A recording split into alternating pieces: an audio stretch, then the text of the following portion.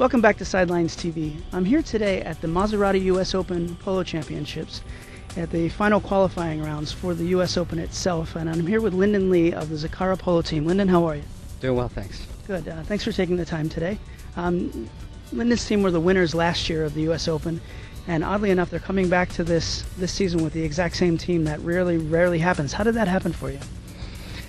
I don't know. I didn't have anything to do with the handicaps, but I guess it was just fortunate. Um, the team came together really at a late stage last year because it wasn't the same team that we won with that we started the season with. We actually replaced uh, one player with Mike Azzaro, and um, you know I think we um, we had the good fortune. We uh, we had a good run up in the last uh, few games for the U.S. Open and, and managed to win that. But I think um, you know, the, the gods favored on us, and and, and uh, we were able to keep Mike down on seven and uh, Magoo on eight. So that's great. Same team, yeah. Yeah, that's really fantastic. Um, for people that don't know, also, in addition to being a high goal polo player, you also have a real job too, which is is really unusual. And it's not just a regular job. You uh, are a founding partner in Lion Capital. Uh, how do you manage the two really demanding careers? Well, uh, it starts with I have three amazing assistants um, who uh, who manage my diary. Um, you know, it, it involves some uh, some compromises on the polo side. I mean, I'm not here as, as often as I'd like to. Be, you know, there's a lot of times when I'm in and out for games.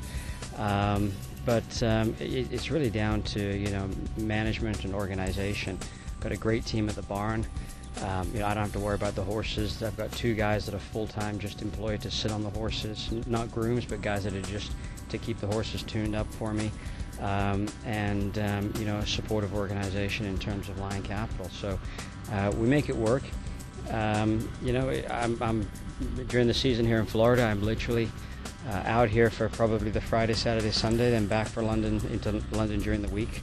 So Monday through Thursday, and it's like that from you know January through early April. So it's pretty intensive on the body.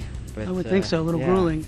Yeah, but it's worth it. You know, it keeps the adrenaline going. It's um, it's competitive. It's very much like business. So you know, it's uh, as I say, some compromises, but and a lot of effort and organization. I actually heard an interesting story of how you came to play polo. Can you tell me that? Well, I came to play polo.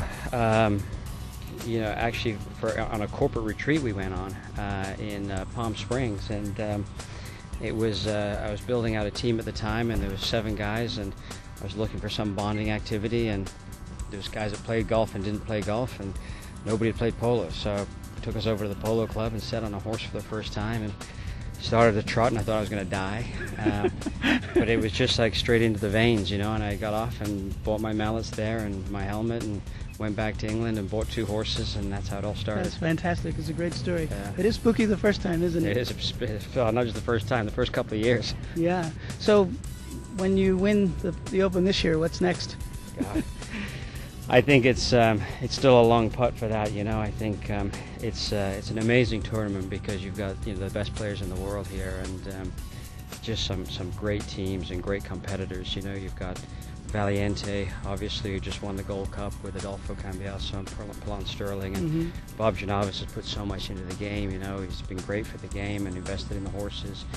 Of course, you've got uh, Lechusa, which we played in the final last, last year, year yeah. with Juan Nero and, and, and, Victor, who's been a, you know been at this a long time. So, you know, it's it's definitely a long road to the final from here still. So, um, but you know, uh, one game at a time, and we'll see. You know, we just uh, I don't know. I don't I don't think beyond this tournament. You know. Great. Well, best of luck with everything. Thank you very much. Thanks for taking the Cheers. time. Bye bye. For Sidelines TV, I'm Rob Jordan.